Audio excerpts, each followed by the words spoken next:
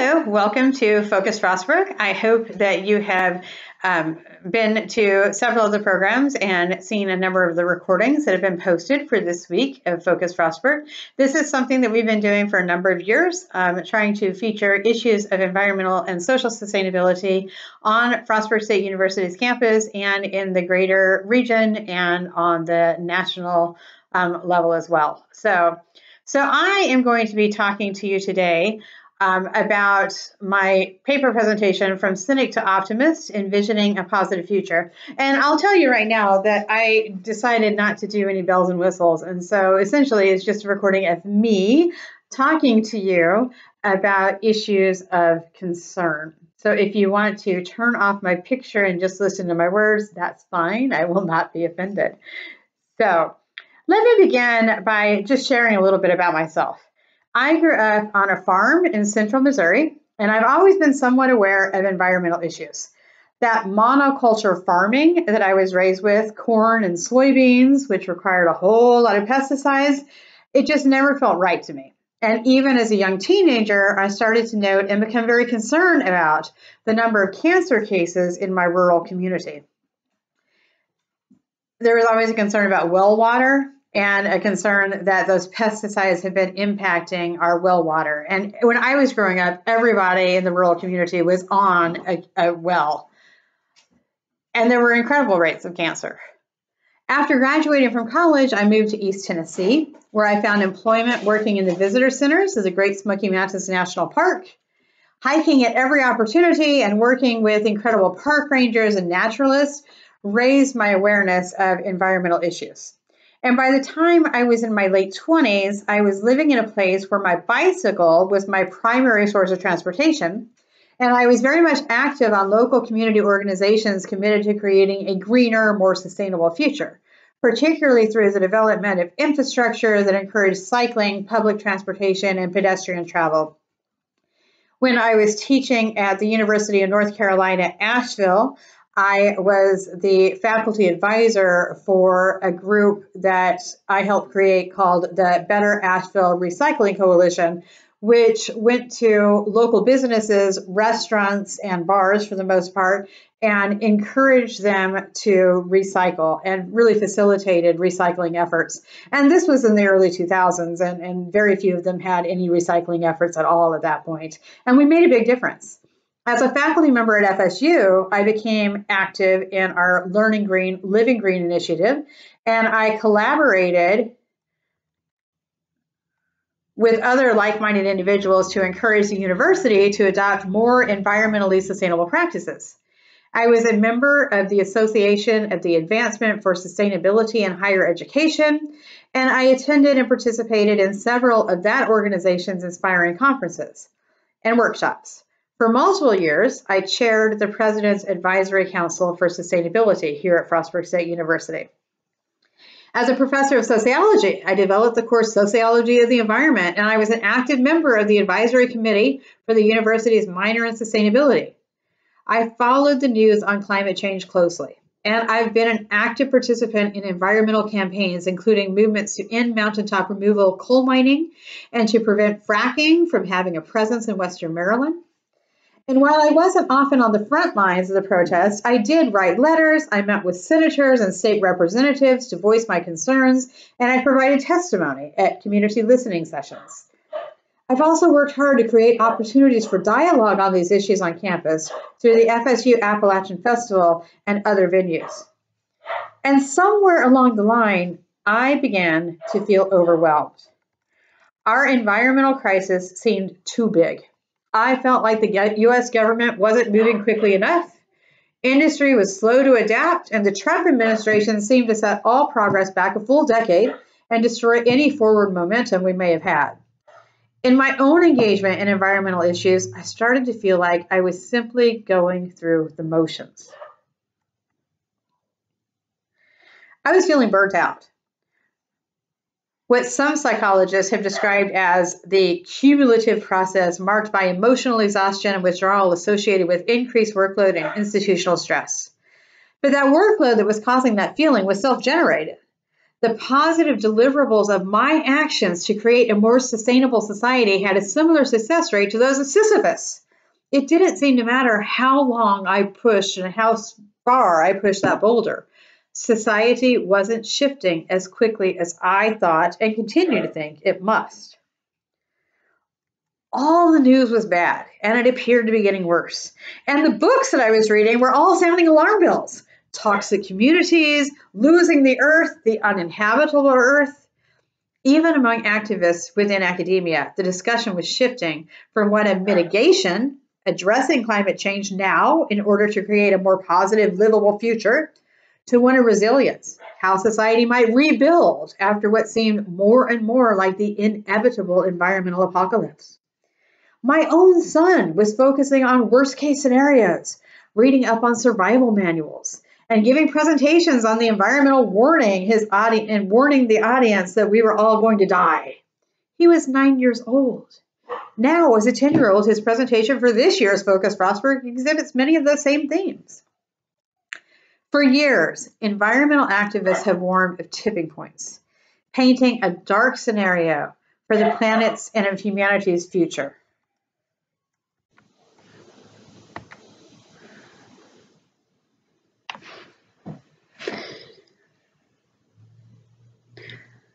So, for years, environmental activists have warned of tipping points, painting a dark scenario for the planet's and humanity's future.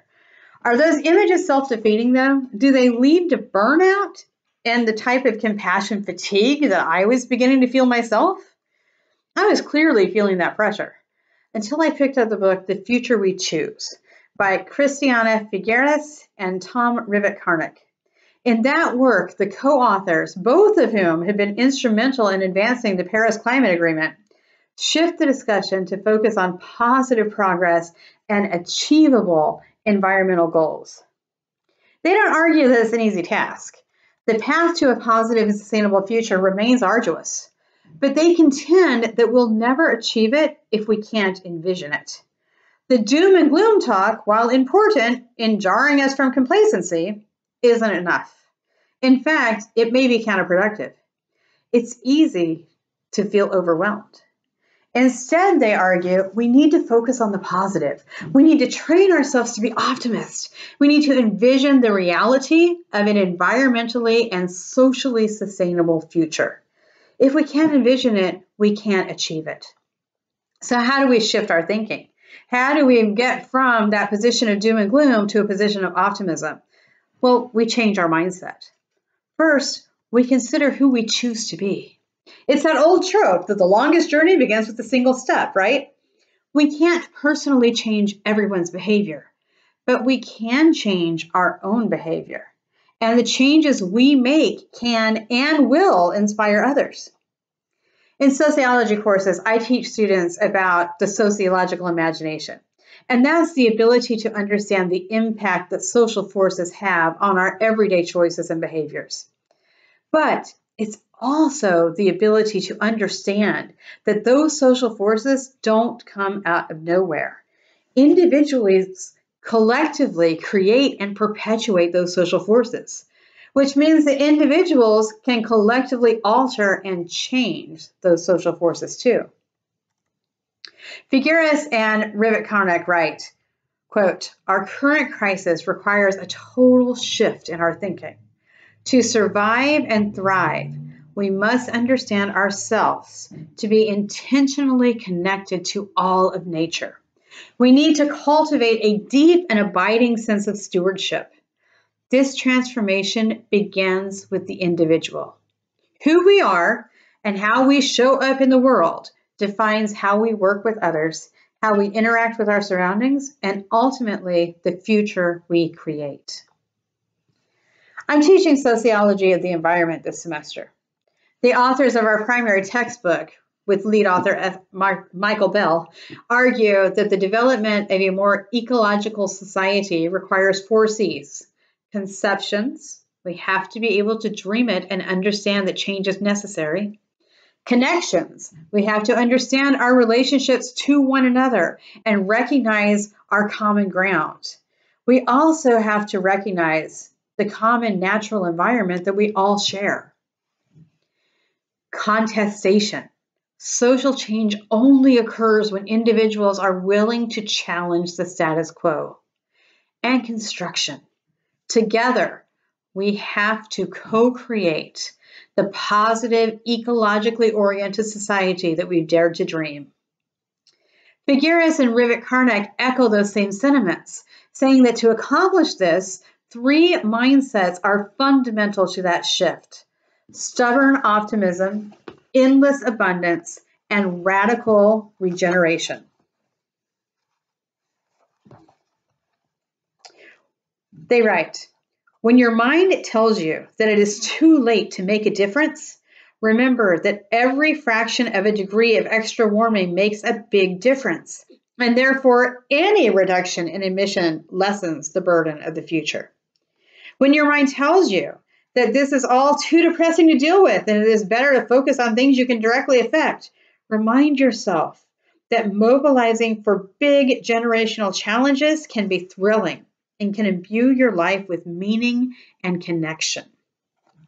When your mind tells you that it will be impossible for the world to lighten its dependence on fossil fuels, remember that already more than 50% of the energy in the UK comes from clean power, that Costa Rica is 100% clean, and that California has a plan to get to 100%, including cars and trucks, by the time today's toddlers have finished college.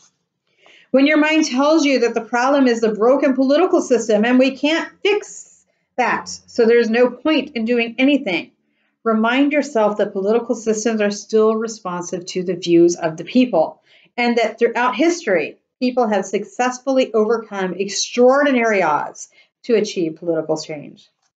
And when your mind tells you that you are just one person, too small to make a difference, so why bother? You can remind yourself that tipping points are nonlinear. We don't know what is going to make the difference, but we know that in the end, systems do shift and all the little actions add up to a new world. Every time you make an individual choice to be responsible custodians of the beautiful earth, you contribute toward major transformations.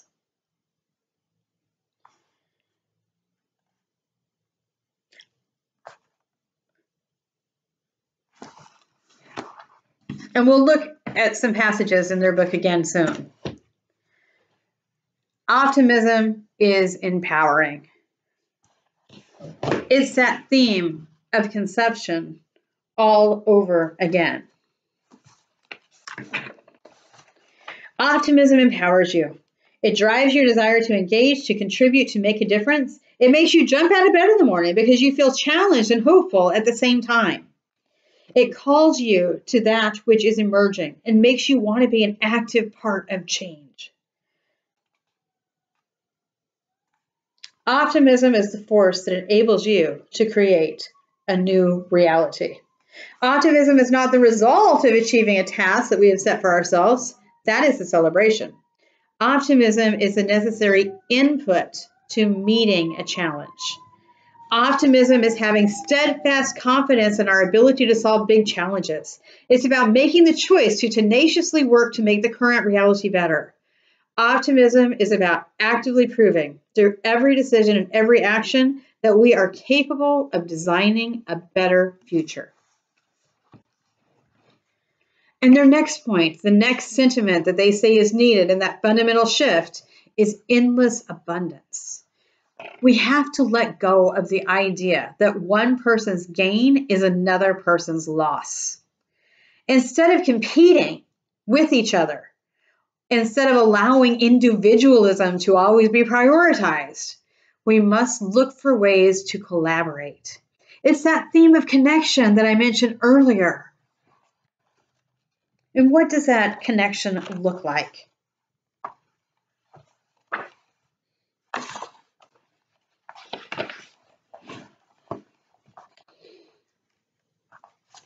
When we are motivated by a desire for collaboration, we liberate ourselves from the restrictive framing of attaining what I want or think I need and open ourselves up to a broader framing of what is available and possible in many other forms. Available to me, but not only to me, to others as well.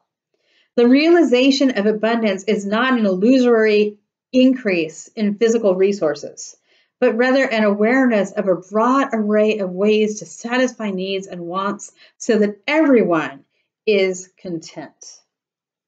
In this way, resources will be protected and replenished, and the relationships among us are enriched. That's endless abundance. We can also add creativity, solidarity, innovation, and many other abundant human attributes available to us endlessly. And the third mindset is this idea of radical regeneration. And with this theme, we revisit that idea of construction that we talked about in the sociology of the environment.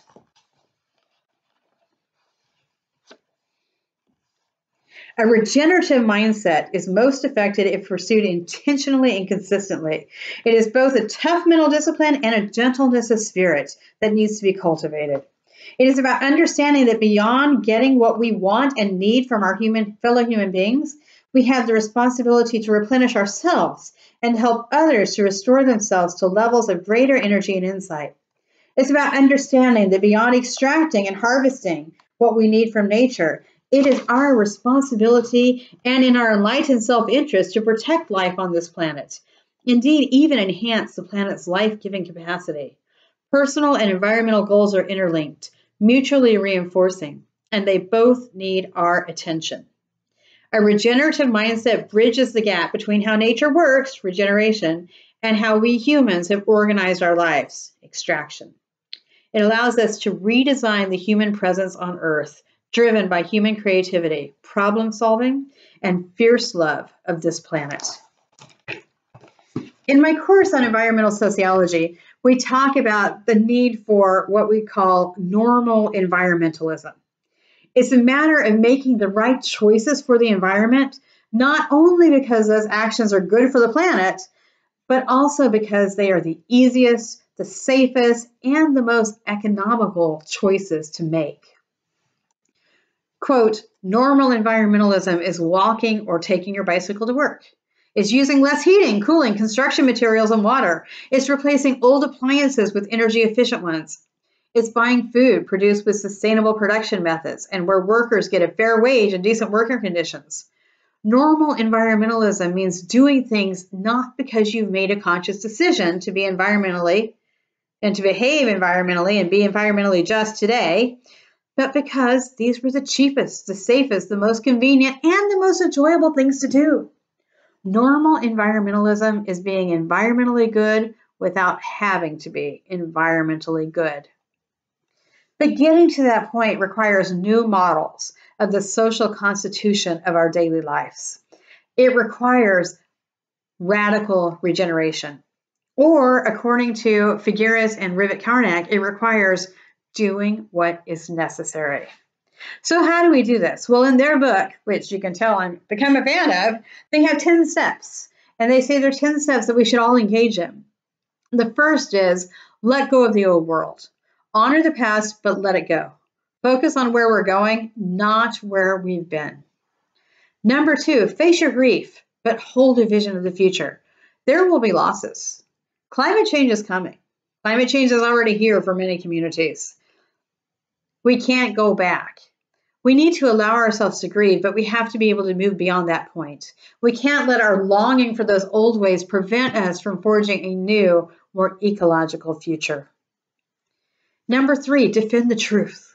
Learn how to tell fact from fiction, real science from pseudoscience. Be informed. Learn how to evaluate sources and determine the legitimacy of research. Don't contribute to the spread of misinformation and do everything you can to stop the spread of misinformation. Number four, see yourself as a citizen, not as a consumer. We have to change our relationship with competition and materialism. We need to put the concept of individualism aside in order to seek connection and collaboration with others. We have to recognize what is enough and we have to honor that. Number five, we have to move beyond fossil fuels. This is very practical. We have to embrace change. We need to champion renewable energy sources like wind and solar. And we have to call on the government to make changes before being forced to make those changes.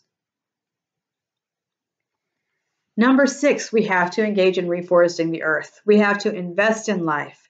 We need to pay attention to our bond with nature. We can't assume that nature is going to replenish itself without our assistance. We have to be proactive in that regeneration. Plant trees, boycott companies contributing to deforestation.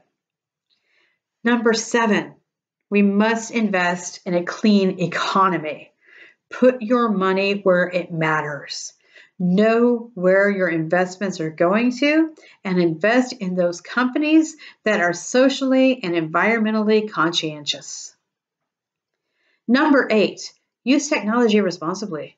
Use artificial intelligence effectively, but with some reflection. Artificial intelligence can and should be an ally in our fight against climate change. Number nine, build gender equality empower women around the world. And number 10, engage in politics. Participate in your civic duties. Let your vote count. Make your vote matter.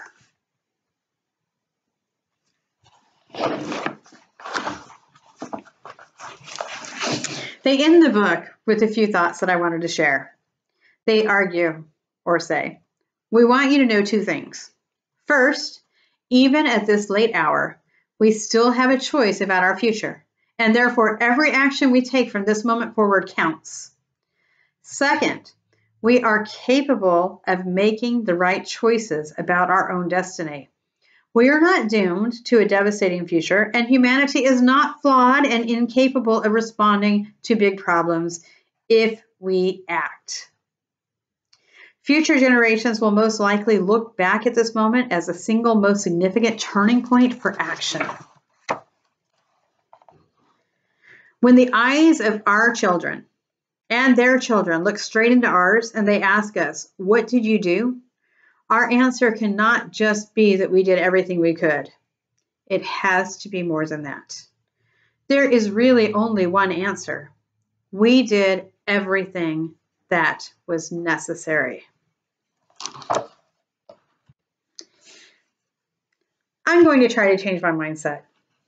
This week, my students in my Sociology of the Environment class are sharing examples of positive changes. My example was regenerative agriculture. One day, I'll own a share of the family farm that I grew up on. I hope to encourage my cousins who farm that land to use my acreage to experiment with models of regenerative and sustainable agriculture. By the time my son inherits my share, I hope the entire farm will embrace such models. I'm sure those messages of doom and gloom are going to continue to haunt me, and there will be days that I feel anxious and depressed. But I'm going to do my best to move from a cynical vision of the present to an optimistic vision of the future. I will do that for my students, and I owe that to my son. Thank you for being with us today. I hope you enjoy the rest of Focus Frostburg events and be sure to check out some of those films in the film festival that we made available to you. Thank you.